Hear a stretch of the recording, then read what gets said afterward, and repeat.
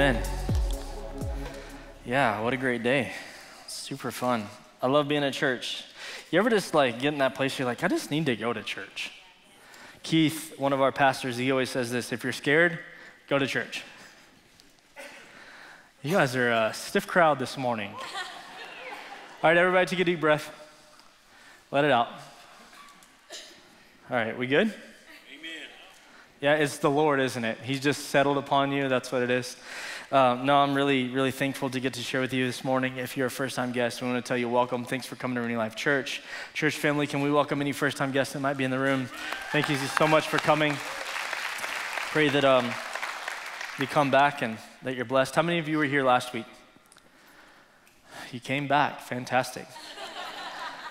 we had an adventure last week uh, in this service, and uh, you know, I, I, there's a lot of things that could be said, but there's one thing that should be said, and that the peace of God never left the room.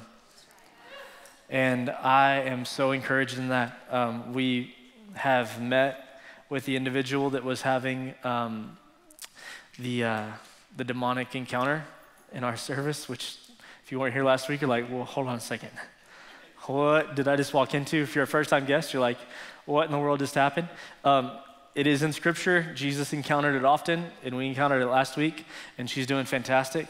Um, she is, um, yeah, absolutely super, super cool. Um, made some incredible progress with her Sunday, but then she came in the office on Tuesday. Um, we plowed through some other stuff, and she is bright eyed and bushy tailed and looks incredible, sounds incredible, and uh, is making some strides to change, which is fantastic. And so, super cool, and just just really, really honored that the Lord actually makes the scriptures come alive. Last week, when we were getting ready for the service, um, before actually even the first service, I was walking the sanctuary during run through, uh, and I was praying and just asking the Lord, like, what do you want to do today? And he's like, uh, I really felt strongly. I was praying on this side of the room, and I really felt that I heard the Lord say, Today is going to be a day where people are going to fall in love with the wonder and the awe of who I am. And fast forward a little bit, a couple hours later, we had what we had in worship. Uh, we never got out of worship. It was just this really, really peaceful, heavy, um, incredible moment with the Lord. And I just believe that God is doing some incredible things in our church. We're seeing miracles in the first service. Like I said, there were miracles that happened in worship. There were five people that gave their life to Jesus during ministry time in worship on the first service, which is the most incredible miracle of all is salvation. Um, yeah, God is moving. And, and so I'm, I'm honestly really thankful to be a part of a church like this that just as willing to go. And uh, I believe that God has taken us some amazing places. So God is working. Uh, if you have a Bible, let's go ahead and open that. That'd be a really good thing to do. Uh, 2 Kings chapter 4 is where I'm going to be. If you don't have a Bible, you can look on the screen. I'm going to read out the New Living Translation this morning. Um, it says, One day, the widow of a member of the group of prophets came to Elisha and cried out, my husband, whom served you, is dead, and you know how he feared the Lord. But now, a creditor has come threatening to take my two sons as slaves. What can I do to help you? Elisha said. Tell me what you have in the house. Nothing at all except a flask of olive oil, she replied. And Elisha said, Borrow as many empty jars as you can from your friends and your neighbors. Then go into the house with your sons and shut your door behind you. Pour olive oil from your flask into the jars, setting each one aside when it is filled. So she did as she was told. Her sons kept bringing jars to her, and she filled one after another. Soon, every container was full to the brim. Bring me another jar, she said to one of her sons. There aren't any more, he told her. And then the olive oil stopped flowing.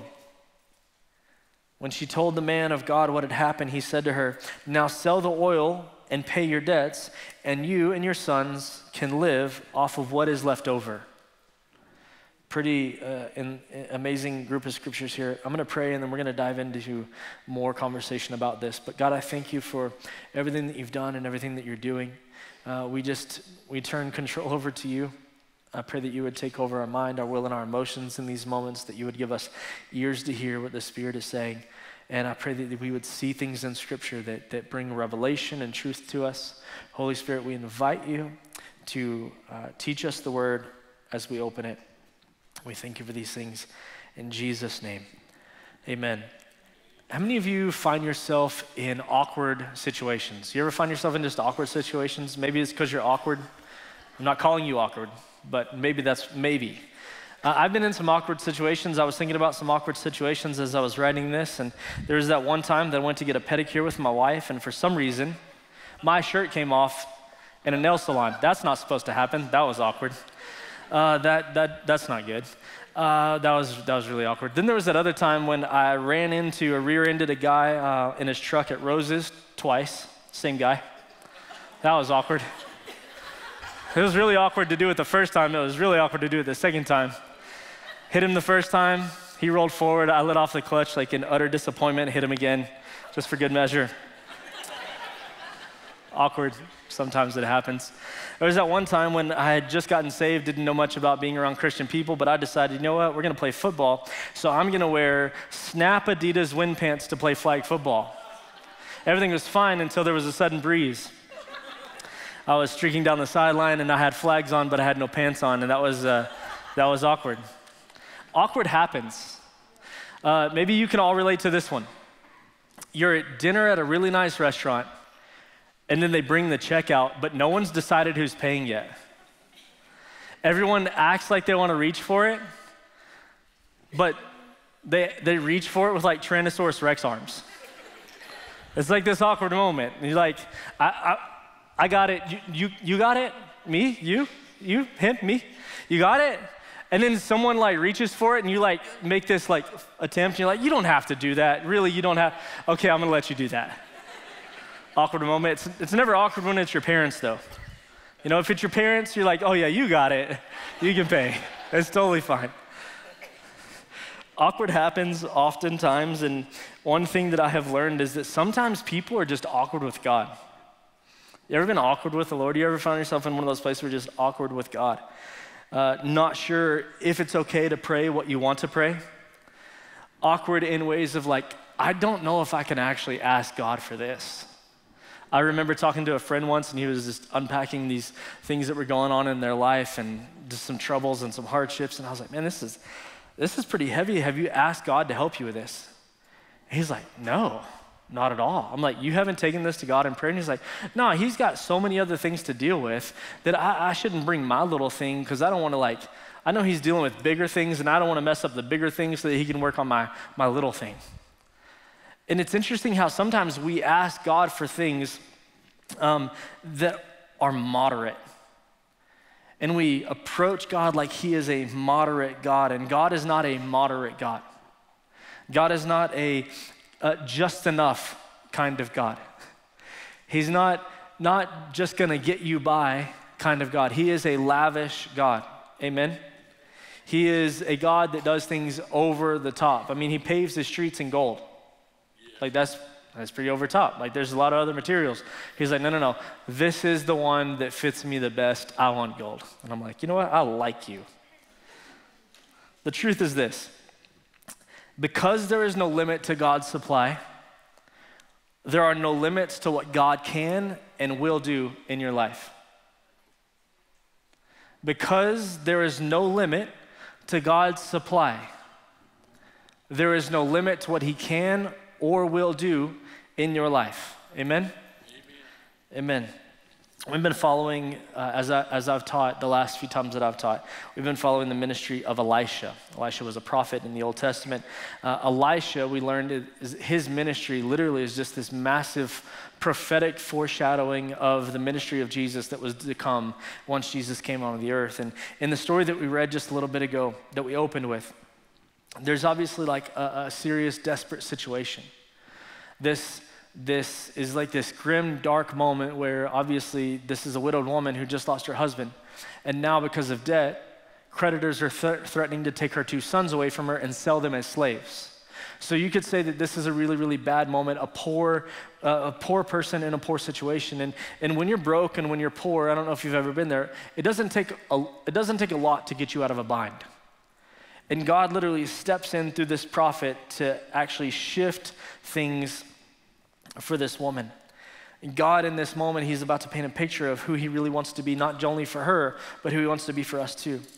So, in, in that scripture that we read in 2 Kings chapter 4, in verse 3, it said this And Elisha said to her, Borrow as many empty jars as you can from your friends and from your neighbors, as many as you can. Then go into your house with your sons, shut the door behind you, pour olive oil from your flask into the jars. Now, this sounds crazy. Setting each one aside when it is filled. So she did as she was told. Her sons kept bringing their jars as she filled one after another. Soon every container was full to the brim. I think it's crazy that he says, Take the flask that you have in the middle of your having nothing in the middle of not having anything, in the middle of being worried about your, your sons being sold into slavery, the only thing that you have of any value is the tiny bit of oil that is in your flask. I want you to take that and I want you to begin to pour it out. There are times when you're feeling broken, and there's times when you're feeling poor, and there's times when you feel dejected, that the Lord says, I actually need you to put faith into what I've already supplied for you so that I can multiply it. Oftentimes in these moments, we're like, Lord, I have nothing good to offer at all. You ever been there?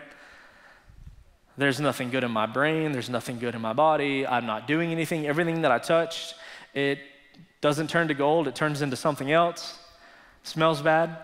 Um, he's like, no, no, no. I need you to take what you have and I need you to allow my grace or my anointing, my power to be placed on the thing that you have and then let me multiply it. But it came out of her obeying. I think that's an interesting word that we've gotten really, really far away from in the church world. We like all of the other words except for obey, which is why our kids act the way that they do sometimes, because we need to get back to the word obey. Amen. I will amen myself on that one. In this moment, he's like, okay, I need you to get all these things. And this is where a test happens. Because the question that I would ask is, how many containers is too many? He says, Go to your friends, go to your neighbors, get as many containers as you possibly can, but how many containers is too many?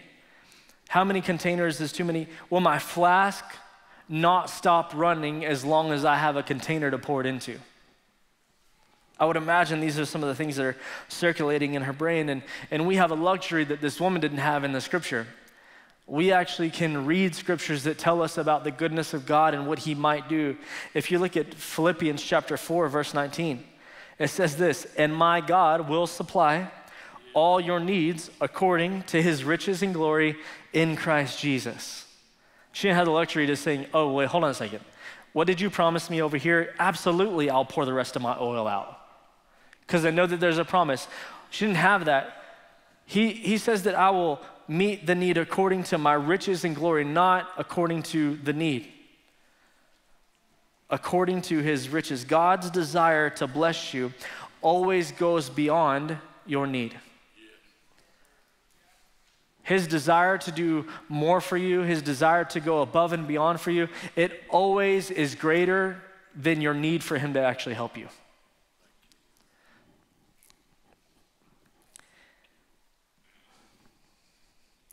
I think one of the things that should be asked is this if you really believe that God would fill every single container that you brought to Him, when would you stop bringing containers? Would you stop bringing containers to God if you knew that He was going to fill every single one of them? Would you stop bringing them once you had enough to pay off your debt? That's plenty, God.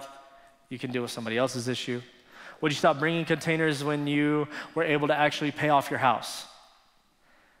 Would you stop bringing containers that he promised to fill uh, once you had enough money to retire?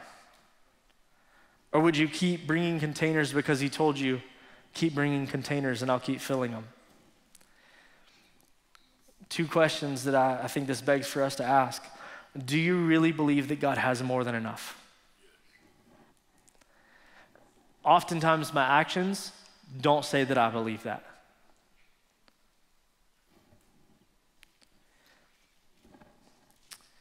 You ever uh, got yourself, you ever been in this spot where, it's funny, elementary type maybe thing, praying for a parking spot? You ever prayed for a parking spot? You ever felt guilty about praying for a parking spot? That's good. I've been guilty. I'm like, well, I'm sitting here praying for a parking spot, and I know there's a worse condition that someone's dealing with than me not being able to get close at HEB. And so I'm like, Lord, I'm sorry for praying for a parking spot. That is the wrong thing to do. Because my praying for a parking spot doesn't diminish his power to heal somebody else's cancer across the world. But if I think that God is limited in what he can do, I will approach him like he is a limited God, knowing that he actually can't fulfill everything that he said he could. There is no limit to God. Do I really believe that God has enough? The second thing to ask is this Do I really believe that he wants me to have more than enough? And that one can become challenging sometimes. Is it okay for me to be rich? Yes. Like all stepping off in it. Now, if, if my heart is right, he can trust me because he knows that if he can put it in my hands, I'm going to get it out of my hands. Which is like getting another container. If he if I if I will step into trusting the Lord with my finances, bringing, returning the tithe, is what that says in scripture, returning the tithe. And then if I go beyond and I start executing or uh, applying um, giving, and me actually giving something that was mine, that was blessed because of him, he knows that if I will do that over and over, I'm basically creating a container where I'm saying, Lord, if you'll put something in here, I'll give it out. When we planted this not when we planted this church, when we were thinking about building this church, we needed a building. We were in uh, the theater, we were leasing the theater, we leased a Midland Community Theater for seven years, for those that are new. Set up, tear down every single Sunday, upstairs, downstairs. Had a full team, three trailers full of stuff. Uh, we pulled it off, and it was incredible. But we were needing a building. We wanted a building. And one of the things that Braden, our senior pastor, if you've been around Braden for very long, you'll know that he is a person who has wild faith. He will do some wild, crazy things that don't make sense, which is what faith is. And so he came to the church one day. We're, we're, we're needing a building, we're leasing a space. And he says, We're fixing to start a building campaign, but I really feel like this is what the Lord is saying. I feel like he said that he can do more with a seed than he can with a dollar. Amen.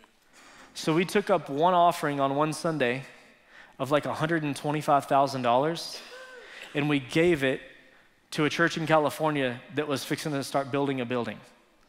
And we needed a building.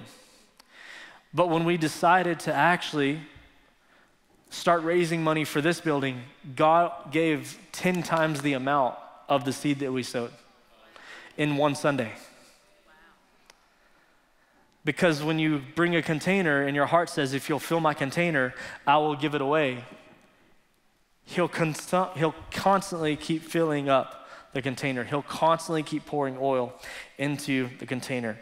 Do I really believe that God wants me to have more than enough?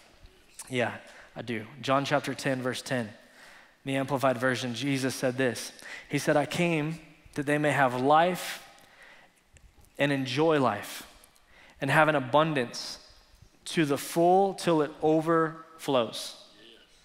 I came that they may have and enjoy life and have it in abundance to full till life overflows. Till it overflows. That's why he actually came. The point is this is that because of Jesus, God will fill every area of our lives as long as we rest and stop trying to fill them up ourselves.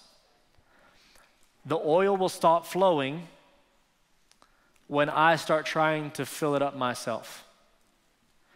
When I move out of my place, we've been talking about the law and we've talk, talking about grace. We've been talking about how the law, under the law, it's all about what you do. It's about your works. Your works justify you.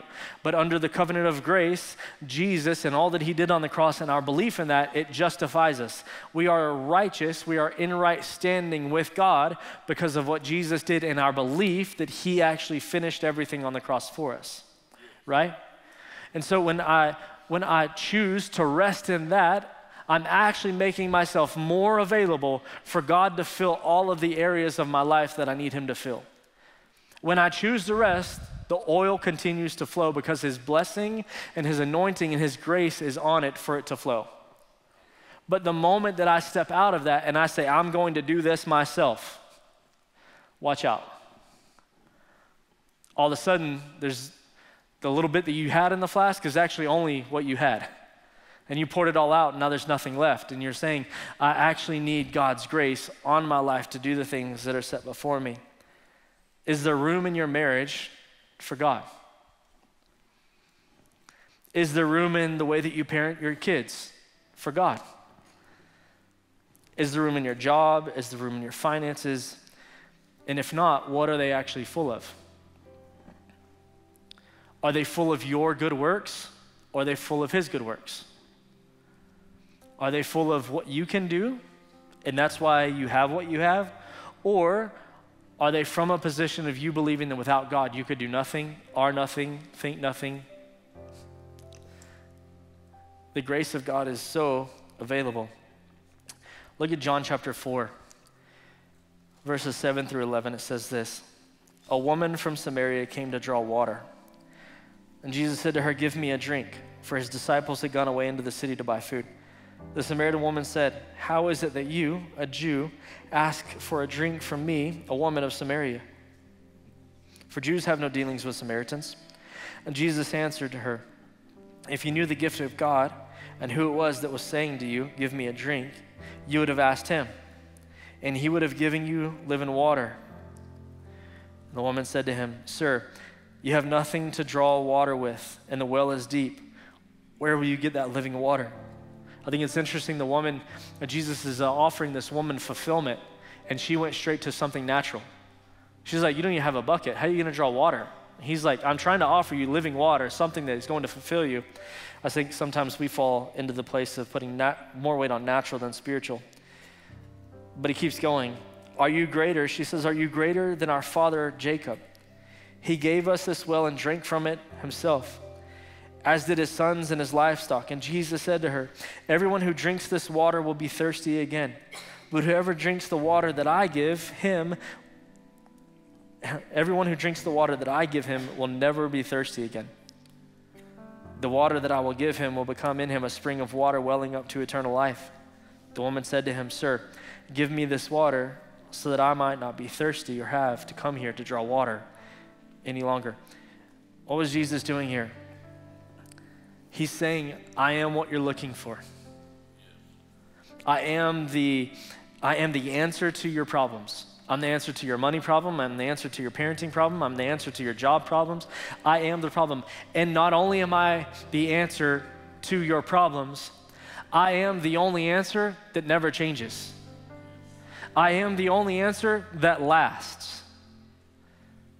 Jesus offers fulfillment and then he says, I'm not just offering you momentary fulfillment, I'm asking you long lasting, life giving, till it overflows fulfillment. That is who Jesus is, and that is what he is offering us every moment of every single day. Will you actually just collect enough? Uh, jars? Will you actually just connect, collect enough that you would pour your oil so that the blessing that flows from your life continues to last until it overflows and then you give it away?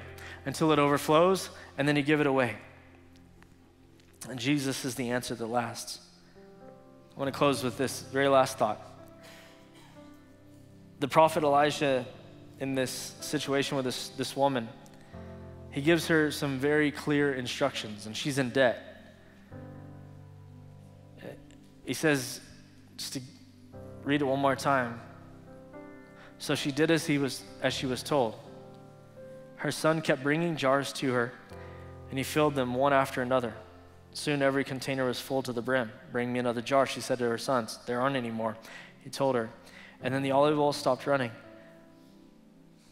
When she told the man of God what had happened, he said to her, Now sell the olive oil and pay your debts, and you and your sons can live on what is left over. The woman was in debt because her husband didn't leave her in a financial position that was stable. He died. Now she incurred his debt, their debt. They're in this position because of bad decision making. Yet, Jesus is big enough to get you out of the mess, even the ones that you create. more of the, more of the law versus grace thing conversation. Oftentimes we think because I created the mess, I have to work hard to get myself out of the mess before I can even go to Jesus to actually ask for repentance or to actually ask for forgiveness. And Jesus, in this story, this is a prophetic foreshadowing of the life that Jesus was going to live in the ministry of Jesus. And he says, I realize that you are in debt. I realize that you've screwed up your marriage, or you maybe you're on your third one. I realize that you haven't done well with your finances and your health is out of order. I realize all of these things. But if you will just offer me what is in your hand, I will actually make sure that you have enough for yourself and then you can sell and pay off your debt. I am the payment for all of your debt. Now let me give you life until it overflows. This is who Jesus is. This is what he offered us. Will you actually give me access to your life so that I can actually put you in position for you to experience life and life everlasting until it overflows? I love this. Grace can get you out of a hole with plenty left over for you to move forward on. That's who Jesus is. If you find yourself in a hole, if you find yourself in a position where you've wasted relationships or where you've wasted time or you feel like I've wasted so much time with my kids, I'll never get it back, and so you just continue to make the same old mistakes, or you're actually trying to force something, give it to Jesus. Let Him do His thing to it, and He will put you in a position where you have more until it overflows. It's who He is, and He's good at His job. Amen. Thank you so much for watching today. If you need prayer or would like more information, please reach out to us on our website at renewlifechurch.com or find us on social media. Also, if you're in the area, we would love for you to join us in person at one of our two campuses in Midland or Lubbock, Texas. Have a great week, and we hope to see you soon.